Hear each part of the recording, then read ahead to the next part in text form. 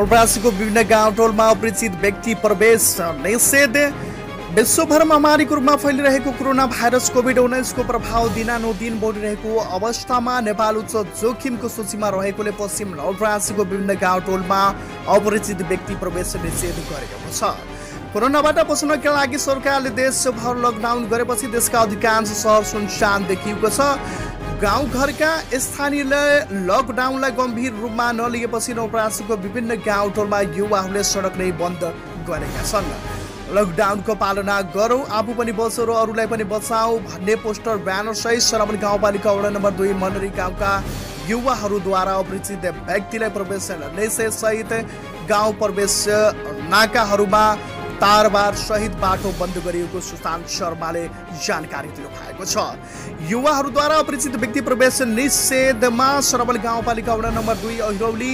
मनरी हेलपोस्ट अगाडि वनरी गाउँ बासा जाने बाटो परासी जाने बाटो लगायतको बाटोमा तारबार सहित बाटो बन्द गरिएको छ। त्यस्तै जताभावी सवारी चलाउने र गाउँ बाहिरका मानिसहरूको चहल पहल बढेपछि सुस्ता गाउँपालिका तिन रेवा रेता तथा सुस्ता गाउँपालिका वडा नम्बर पाँचमा अवस्थित शिवशक्ति युवा क्लब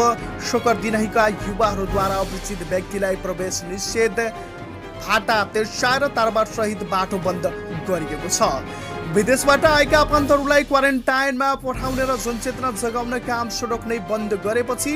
सवारी साधन सञ्चालन हुँदैन।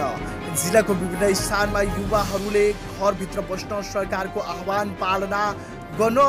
र रोगबारे जनचेतना जगाउनको लागि लागि परेका हुन्। कोरोनाको कहरबाट बच्न तथा अपरिचित व्यक्तिको लागि गाउँमा प्रवेशको लागि चालिएको यो कदम केही सकारात्मक देखिए पनि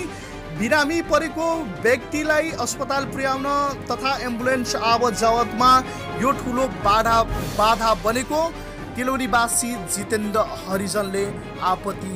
व्यक्त गरेका छन्।